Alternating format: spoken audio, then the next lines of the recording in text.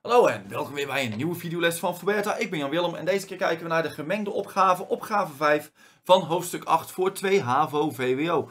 En daarbij is de vraag, de glazen 2 en 3 zijn vergrotingen van glas 1. Glas 1 is 6 cm hoog en glas 2 is 8,4 cm hoog.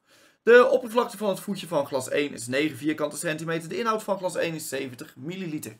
Nou, ik uh, zie dus al heel veel dingen, dus ik ga gewoon maar eventjes snel de drie glazen tekenen, zodat we alle gegevens bij de goede glazen hebben staan. Waarbij we dus gaan zeggen, de hoogte van glas 1 is 6 cm. De hoogte van glas 2 is 8,4 cm. En even kijken, de inhoud van glas 1 is 70 milliliter. Um, de oppervlakte van het voetje van glas 1 is 9 vierkante centimeter. Dus dit is een oppervlak. En oppervlak van het voetje van glas 3 is 36 vierkante centimeter. Goed, dan gaan we nu de opgave doen. En opgave A, bereken de oppervlakte van het voetje van glas 2. Nou, als eerste moeten we hier even gaan puzzelen. Namelijk, de vraag is eerst, wat is de vergrotingsfactor? En de vergrotingsfactor die kunnen we heel makkelijk halen uit de lengtes. Um, namelijk, de vergrotingsfactor is altijd uh, lengte nieuw gedeeld door lengte oud. Dat is één manier om met dit soort factoren te spelen. En dan kunnen we zeggen de nieuwe lengte is 8,4. De oude lengte die is 6. Dus dan hebben we 8,4 gedeeld door 6. En hoeveel is dat? Even kijken. 8,4 gedeeld door 6 is een vergrotingsfactor van 1,4. Maar als we nu de vergrotingsfactor weten, dan kunnen we daarmee ook verder spelen. De vraag is de oppervlak van het voetje van glas 2. En dan kunnen we dus zeggen, uh, oppervlak nieuw is de factor in het kwadraat keer oppervlak oud. En dan gaan we kijken, de factor die is 1,4 in het kwadraat. Het oude oppervlak is 9. Dus dan hebben we dus 1,4 in het kwadraat keer 9. Dus het voetje moet wel 17,64 vierkante centimeter zijn. Goed, dit was vraag A. Vraag B. Bereken de inhoud van glas 2. Nou, voor de inhoud geldt eigenlijk de formule um, inhoud nieuw. Uh, nieuw goed schrijven Jan Willem. Is de factor tot de derde van de oude inhoud. Uh, standaard formule, wel een heel handige formule, want dan kunnen we namelijk zeggen de factor die is 1,4, de vergrotingsfactor van 1 naar 2 toe. En dan moeten we keer de oude inhoud doen, die is 70. Uh, moet ik hem natuurlijk wel 1,4 tot de derde, niet tot de tweede. Af en toe op je eigen handschrift letten werkt best wel goed. Dus 1,4 tot de derde maal 70 is een inhoud van 192. 192 milliliter. Goed, dan hebben we vraag B ook weer beantwoord. Dan kunnen we doorgaan naar C. Berekende hoogte van glas 3. En dat is een best wel pittige vraag, denk ik. Dus dan gaan we heel eventjes kijken. Dan ga ik eerst even zorgen dat ik wat ruimte heb. Heb ik hier dingen van nodig? Nee, ik heb hier geen dingen van nodig op dit moment.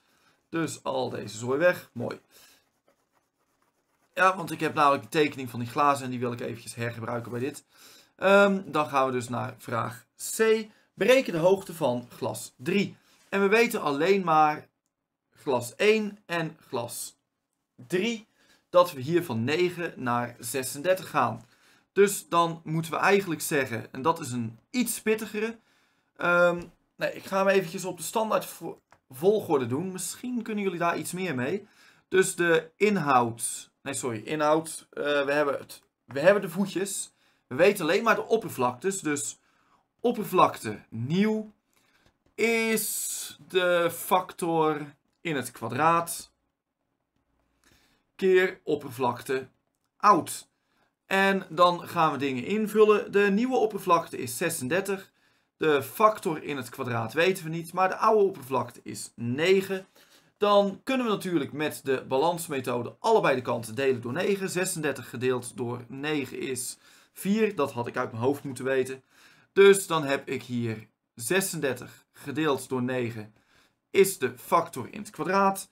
4 is de factor in het kwadraat. Um, de factor is dan wortel 4 en die is dan 2 of min 2. Maar een factor van min 2 die kan in dit geval niet. Um, dat betekent dus dat de factor vergeleken met 1, dus de factor van 1 naar 3 toe, is 2. En dat maakt het al een stuk makkelijker. Want nu we namelijk de hoogte weten, kunnen we gewoon weer zeggen um, de nieuwe hoogte is de factor keer de oude hoogte. En de nieuwe hoogte, die willen we weten. De factor is 2, de oude hoogte is 6. 2 keer 6 is 12. Dus het nieuwe glas, of glas nummer 3, is twee keer zo hoog als glas 1. 2 keer 6 is 12 centimeter hoog. En nu we de factor weten, is ook de inhoud weer heel erg fijn. Namelijk, de nieuwe inhoud is natuurlijk gewoon de factor tot de derde van de oude inhoud. Nou, dat is lelijk geschreven inhoud.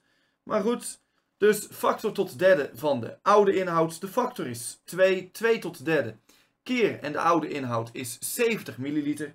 Dus dat is 8 keer 70. Dat is uh, eh, 5600. Nee, dat is iets minder. Dat is... Waarom doe ik dit eigenlijk terwijl ik het ook aan het intypen ben? 560 denk ik, maar misschien maak ik een fout. Het is gelukkig 560. Lang leven hoofdrekenen. Blijft altijd sneller dan een rekenmachine. Vooral als je tegelijkertijd aan het praten bent en aan het hoofdrekenen. Dan zijn rekenmachines blijkbaar heel erg langzame rotsdingen. Maar goed, ik hoop dat jullie ook weer iets aan deze uitleg hebben gehad. In ieder geval weer bedankt voor het kijken. Ik ben Jan Willem van voorbeter.nl. Um, like deze video als je hem nuttig hebt gevonden. Abonneer je op mijn kanaal. Geef mijn kanaal door aan andere mensen. Dat meer mensen weten dat het bestaat. Misschien hebben zij er ook wat aan. Bedankt voor het kijken en tot een volgende keer.